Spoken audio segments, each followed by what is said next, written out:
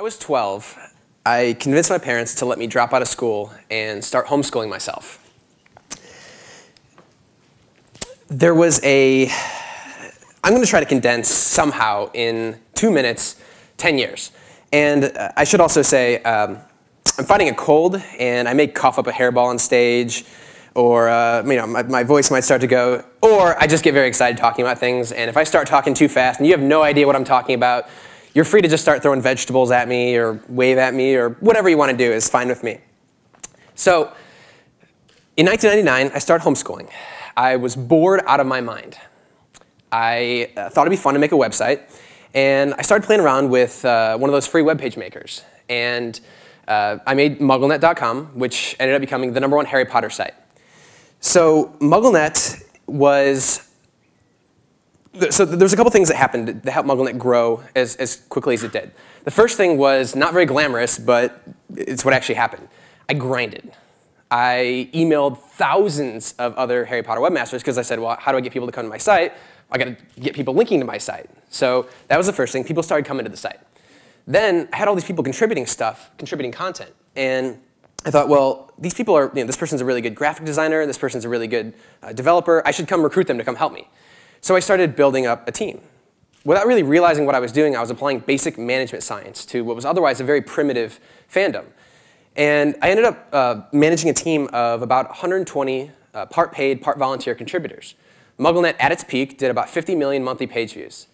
Uh, I was able to get to wear a lot of different hats and get a lot of crazy, awesome experience, uh, including uh, we, uh, we got to go to all the sets of the movies, the, the red carpet premieres, um, in Oak Park, actually, the, uh, in, when Book 7 came out in 2007, uh, the night that it came out, uh, we were able to speak in front of a crowd of 10,000 people. I also got a call uh, one day uh, when I was a teenager, out of the blue, from J.K. Rowling. Uh, it was, it, and it changed my life. It was actually my dad came bursting in my room with a, a panicked look on his face, and he had a phone in his hand. It was 8 o'clock in the morning. And he was like, Emerson, it's Jo. and I'm thinking, okay, why is some guy named Joe calling me at 8 o'clock in the morning? So he hands me the phone. I'd just woken up, so sounded like Barry White. Hello? Hello, Emerson. This is Jo. So, I played it cool.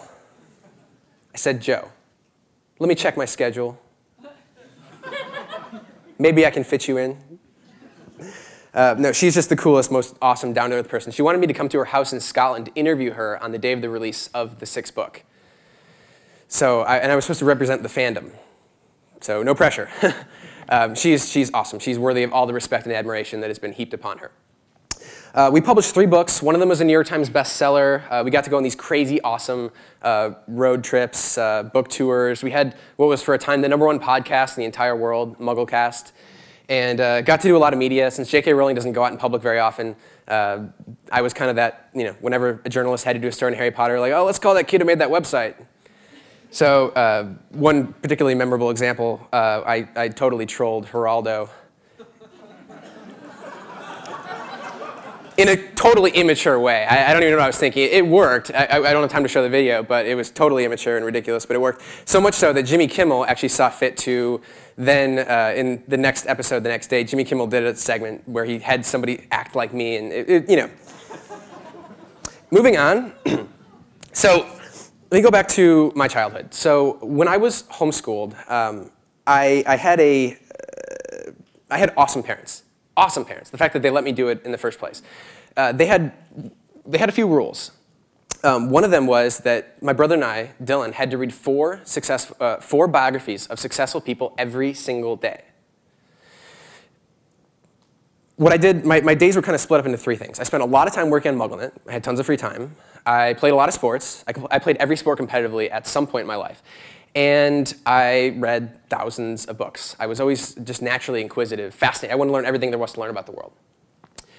So I had an epiphany. Uh, I don't remember exactly how old I was, but not, not long after I started MuggleNet, where with all these biographies, And with the success that I had with MuggleNet, I, I had this awakening, and I said, if I can do this, and I'm this age, imagine what I can do when I'm 16.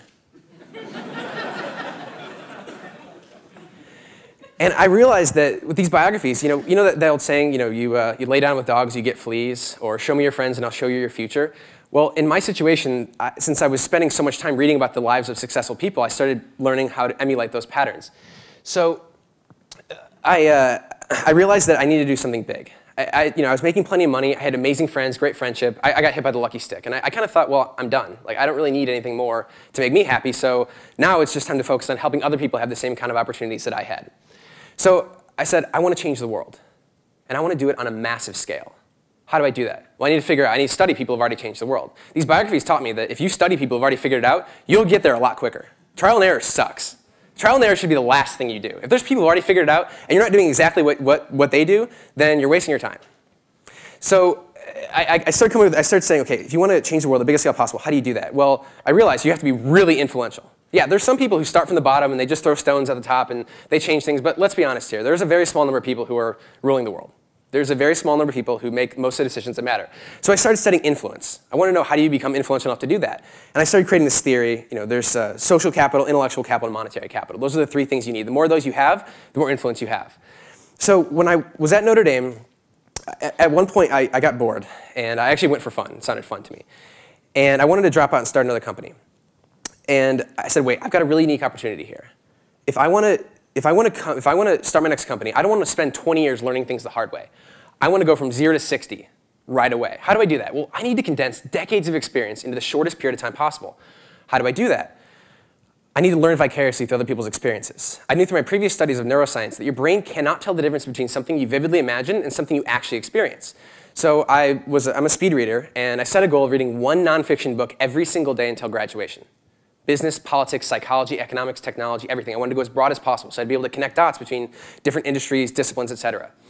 It wasn't just books. It was SEC filings, 10Ks, research, abstracts. I did a, a systematic analysis of 60 different industries, from natural gas wholesaling to drywall contracting, wanting to see patterns. I figured successful people do the same things. They have the same behavior, same attitudes. I want to figure out what, this, what the parallels are in business. So Uh, reading was part of it. The other part was reviewed. I reviewed everything that I wanted to remember on a schedule of a day later, a week later, a month later, and then every six months in perpetuity. And then the third part. So I'm sure a lot of you guys are familiar with the 10,000 hours theory of excellence. Like if you want to get to the top in your field, you have to put in 10,000 hours of deliberate practice. But how do you do that in business without taking you know, decades to, to get that kind of practice? Again, going back to that neuroscientific principle, your brain can't tell the difference between something you vividly imagine and something you actually experience. So I said, all right, here's what I did. I organized all the information into frameworks to contextualize it.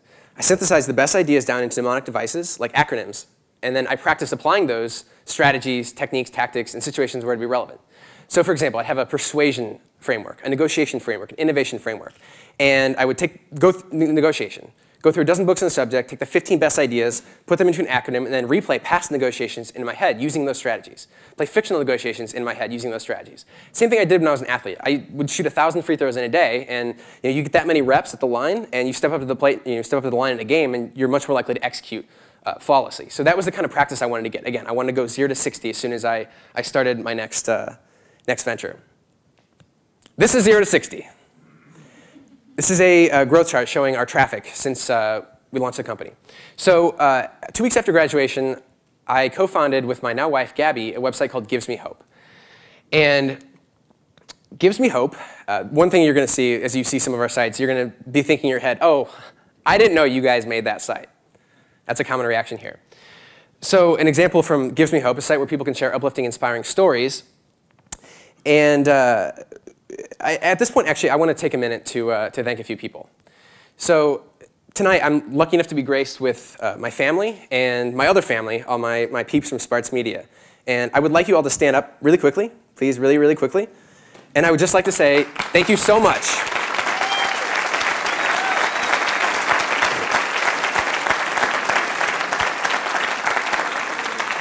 So these guys make me look really good.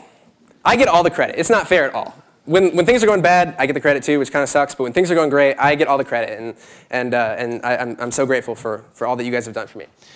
So Uh, some more of the sites that we've got, some of the ones you might be familiar with. OMG Facts, the number one fact site online. Uh, we have a, a, funny iPhone autocorrect site. I'm sure you guys have definitely seen this content going around the internet. Um, some, some meme sites. Uh, we have a, a, funny Rage comic site. I'm sure you've seen this kind of content around the internet too. We've got a, uh, secret site where people can share their secrets. Uh, you've seen these demotivational posters. And uh, we're also, I'm also one of the co-founders and, and very active advisors in a, a local startup here called Social Crunch. And I'm going to be super vague and mysterious about this, but it's going to be, from a, from a viral perspective, which I'm going to start nerding out in a bit about, it's going to be awesome. Now we're going to talk virality. And this is the point where I, get, I will probably get so excited that I will talk too fast. I'll start stringing multiple, multi-syllabic words together, and I won't make any sense. So uh, people come to me all the time, like they want to make viral videos. This is going to be really depressing. You want to make a viral video? Don't. Don't. Don't even try. It is too hard. It is way too hard. Let me give you some numbers to show you how hard it is. The content on our sites, uh, we, uh, let's say our audience creates, freeze the math, 40,000 pieces of content per week. We have learned a lot about how to increase the probability of getting content to go viral, and we get one. One of those 40,000 pieces of content to go viral per week on average. Now, when I say viral, I also mean you know, millions of people viewing it viral. Um, so very, very briefly, uh, the, the, reason I got interested in virality in the first place was because I started off studying influence. I said, okay, I need to be as influential as possible to make the biggest impact in the world I want to have possible. By the way, that impact I'm talking about, it doesn't mean I want to go work in a soup kitchen for the rest of my life. Impact, business is impact. Entrepreneurship is impact. Entrepreneurship is one of the rare fields, there's other fields where this exists too, but you can have your cake and eat it too. You can kick ass, make tons of money, and you can still make the world a better place, and that's awesome. If I didn't want to do that, I would have just been a hedge fund manager or something like that, because that does sound fun, really. I, I still think there's probably no greater return on intellectual capital than managing money via hedge fund. But that's neither here nor there. Anyway, so I started studying influence, and then I was really interested in persuasion, and then that led me to virality. And virality was like this awesome, giant, untapped ocean. Like, wow, nobody's researching this, but everybody's fascinated by it. And since there wasn't really any research out there, I decided to start testing things. So uh, in short, viral coefficient, something you need to know. If the viral coefficient is above 1, that's when you start getting exponential growth. There's ways you can increase the viral coefficient. Viral coefficient just means for every one person who sees it, how many people do they bring with them? How many people do they refer? So above 1 means on average they refer more than one person for every person who sees it. So uh, first, we're going to do something interactive. This fact right here on OMG Facts, lots and lots and lots of shares. 713,000 shares. Try it with me. You can't hum while holding your nose closed. Try it. Try right now. Simple, short, sweet, massively viral. So if I had to summarize everything that I've learned about virality into one idea, it's this. The more incentive you give people to share, the more likely they are to share. Now that sounds like one of those really obvious things, and, uh, you know, and you're probably thinking, well, okay, duh. But it's one of those things, if you really think about it, you think about the implications of it, there's, there's much more to it than that. So there's two basic strategies you can get people to, to share. Ultimately, virality is just word of mouth marketing, but the online version of it. The first strategy, this is the strategy I tell everyone to use, bribery. It's the most effective strategy. It's really straightforward. You give somebody something in return for doing something you want. So here's a couple tactics that you can use. You can use these if you have web-related businesses or not. You can start using these right away. Tactic, leave a trail, build virality in. This is simple. Make your product loud so that when other people are using it, other people can see it. Best examples would be like New York Times comes in this bright blue packaging. So every time the, the boy goes down the yard throwing the newspapers in people's yards, they see these bright blue packages, and everyone knows that that person subscribes to the New York Times. IMAX with the fancy colors back in the 90s, another good example. Hotmail. Hotmail went viral because uh, one of the VCs had the idea like, hey, why don't you put in their signature and get your free email address at hotmail.com. Boom, viral. SocialCam. SocialCam is just this awesome case study in how to like use viral principles. SocialCam basically used these viral strategies into, they end up selling the company for $60 million like a year after they launched. I mean, ridiculous. Uh, SocialCam just jam-packed that app with all kinds of viral content. And yes, they spam people on Facebook and did all kinds of things, but seemed to work out for them. Another tactic, content hiding. So again, like you can give all your content for free, but you, you, you know, if you put up a gate, people will, some people will convert. An example of this would be Warrior Dash. So if you do Warrior Dash, it's like a running series, and you want to see your score, they make you like their page on Facebook. You know, some people say, well, I don't want to do that, but it's worth testing because you don't know like what kind of content people will actually like you, and then you can market to them for, for a long period afterwards. Um, discounts, coupons, one-for-ones, donations, this is another straightforward way. You want people to, to, to, share your stuff or to refer people, give them something in return for it. Uh, as an example of this, uh, I, just to test out a theory I had a while ago, um, tweeted out a link saying, I'll donate a penny for every retweet that this tweet gets. Uh, this was after, after Haiti. And that tweet, just you know, not even seeded from large Twitter accounts, got 14,000 retweets. So another tactic, actually asking for referrals. This is a big one. You have to ask people for, to share, to like, to comment, and most people are pussies about this. Don't be. As aggressive as you think you could be in the most aggressive situation that you'd ever think that you'd be willing to do that, be five times more aggressive than that because most people are just way too scared to ask for referrals. Uh, homework. Okay, so if you guys want to get more users for your product, simplest way to do this, create two columns. One column, all the things you want people to do, sharing, liking, referring, etc. Prioritize them based on what the most important ones are for you. Second column, all the things you can bribe them with, discounts, coupons, whatever it is. Prioritize those and just start testing them because you don't know which, which is going to be the big one. You don't know which one's going to refer, which one's going to significantly juice up the viral coefficient of your product. You just need to test, test, test. Don't do this strategy.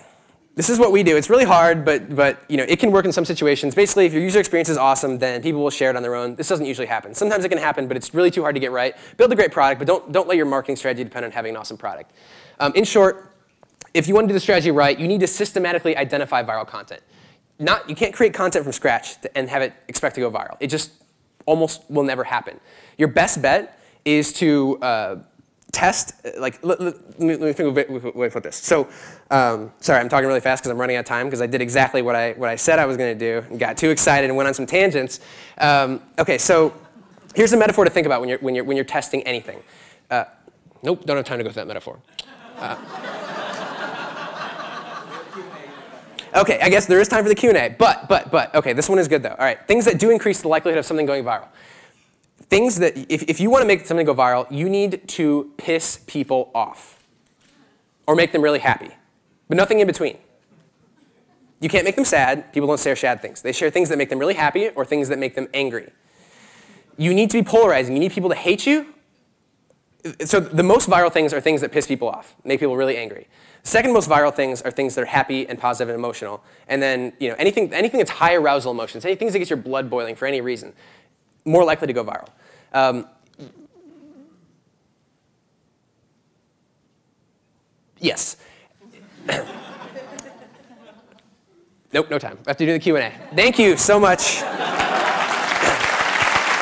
So uh, to clarify a few things, because I know a little bit about your story, you were 12 when you convinced your parents to let you drop out of school. Just so get some ages out there. You are, what, 25 now? Yes. Okay. Uh, you're mic'd up, right? Yeah. Um, I guess uh, we'll just start from the audience here. So, uh, I guess the top five vital resources. I mean, you, you, you, talked extensively about all the things you've tried to examine constantly and trying to find the best resources uh, for knowledge. Uh, is there anything about running a successful company, anything that's really resonated with you? Yes, absolutely study successful people and successful companies and then do what they do. Like in, in society, we have this general aversion to like doing things other people have already done, but it's wrong. That's what innovation is. I spent so much time studying innovation.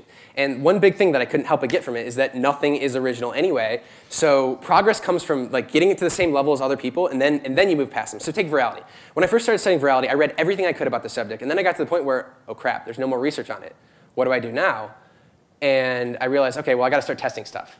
So uh, what, what, I did was originally I, I you know, started off on Facebook, like came with, developed a series of algorithms designed to get content to go viral. Created a bunch of Facebook pages that went from zero to hundreds of thousands, uh, you know, total millions of followers in a period of a few. Each of these would go viral in a period of a few hours to a few days. So uh, what we were doing effectively was pulling different levers and seeing which variables correlated positively to virality. And uh, we were conducting, effectively conducting thousands of little mini experiments and uh, and in that process, you know, we took a lot of same ideas over Twitter. Um, we've been able to uh, amass millions of followers on Twitter using similar strategies. Uh, we're up to 12 million followers total across our different networks, and, uh, and also had uh, success on YouTube and Tumblr as well. Um, currently gaining about 400,000 Twitter followers a month. What I, in this process, though, it was you know I, I had it got to, you, you study as much as you can, then you then you take over from there. So like with um, so let me give you an example. So like we have a we have a very high success rate at launching new sites, and a big reason for that is because, like for example, I'll spend a lot of time studying what other people are doing. Like other companies I know are really they have really data driven uh, websites, and so I'll watch them when they make changes to their UI. If they keep those changes, I know they're data driven, so they probably A/B tested it quite a bit. They kept the change means it, it worked for them. There's a good chance that it'll work for us as long as there's enough similarities between our UIs or our audience or whatever. These aren't even competitors of ours. And sure enough, we're basically outsourcing our customer development by doing this. So what I do is I'll spend a lot of time on Quantcast, Elite, uh, you know, uh, Alexa, Compete, et cetera. I'll look at sites, oh crap, this site just started growing really fast. How did, how did that happen? I'll dig in, okay, so traffic came from Facebook, and I'll just kind of reverse engineer exactly what they did. Wayback Machine is a great resource for this. You can look to see, Wayback Machine is like an archive. It takes screenshots of sites at a time. Hey, they made this one change, and their traffic tripled when they made that change. So hey, let's try that too, see if it works for us. And usually it does because there's not, you know, most people are, are fundamentally the same. So, uh, you know, like I'm sure a lot of you guys are familiar with lean startup methodology and the idea of customer development, you know, researching your customers and so on. The beauty of the internet is that it's just this giant sandbox of experimentation and innovation. There's thousands of people out there that are trying so many different things. They're, test, they're doing the testing for you. You don't have to test it all yourself. Like, like, say you want to improve the conversion rate on your, on your app or your website or whatever. You could go and test things yourself and just like look at it and guess. But there are best practices on this. If you use research on best practices for like optimizing conversion funnels and so on, they basically give you the playbook. Another example of this would be blackjack. So most people by nature just go through trial and error. They just start like digging into something like, I'll just figure it out, I'll make mistakes, I'll figure it out along the way. If you do that with blackjack, you could watch thousands of hands, thousands of hands, and still not play, uh, not play as good as you could. Or you could go on Google, search blackjack strategy, spend one hour memorizing a chart of when to hit and when to stay. And you will be in the 99th percentile of blackjack players in one hour. And there are shortcuts everywhere. Like you need to find those shortcuts. Don't like you need to outsource all this work, all this testing. Like there's other people who've already tested it. You spend enough time studying them and what they've done, you can reverse engineer it too. So that, that's like the biggest thing is like don't duplicate someone else's work. This is what's great about the internet. We don't have to like if somebody makes a discovery in you know Mozambique, they can put it up on the internet and then everyone else can learn from it and we can all copy them and then we can like go on to something new. The idea of like we should all be doing independent you know analysis and like we should all like do studies independently and so on. It's just a waste of we're just, it's just a duplication of resources and effort. Wave the white flag of surrender here. Okay. okay. uh, we're running running a little over on, on time. Uh, trying to, I mean, the, I guess, uh, try, fit maybe one or two more, maybe. We'll just get them out here. So, uh, the, you mentioned the welfare queen thing. People are curious. Uh, find your welfare queen. Reagan almost, Reagan arguably won an election based on finding one extraordinarily viral piece of content. This is how powerful it can be. So ultimately, what is virality? Virality, art, science, music, they're all strongly linked. It's something that triggers an emotional reaction in you, right? Like if something goes viral, it means just for a large percentage of the population, it really got them to feel something, and then they wanted to go share it. So in Reagan's case, there was a story, and it was actually completely made up. Completely made up. Didn't matter. Uh, Reagan told the story, every campaign stop for the entire election, about this woman from Chicago, a black woman, who had a Cadillac, and she was on welfare and he called her the welfare queen. And he created this narrative, this narrative about, you know, like people on welfare, lazy, don't work, blah, blah, blah, can afford Cadillacs. Not true, didn't matter. Like every conservative who heard that story got their blood boiling. Even, even liberals would hear that and think that's kind of ridiculous. And it didn't matter that it wasn't true, but it was super viral, like super viral coefficient through the roof viral. Everybody who heard it talked about it. Those are the ones you want to find. Those are like the diamonds in the rough. And then uh, I guess one question that we'll finish here with uh, is people are curious. They feel like potentially you're wasting your talent on memes. On meme. So like, what, what uh, why are you currently focused on memes and you know, rage dash and um, so uh, you know, what we do is totally opportunistic.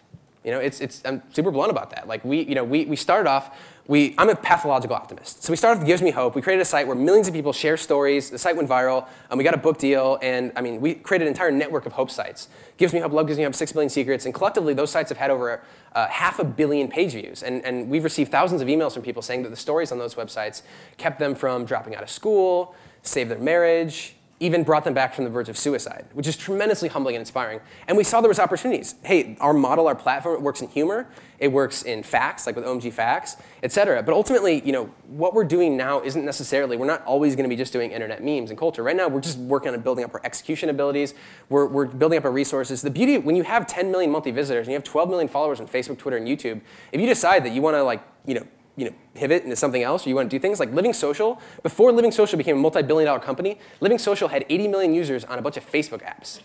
The reason why they blew past everyone in the market, they blew past everyone except Groupon, was because they had 80 million customers that they could market to.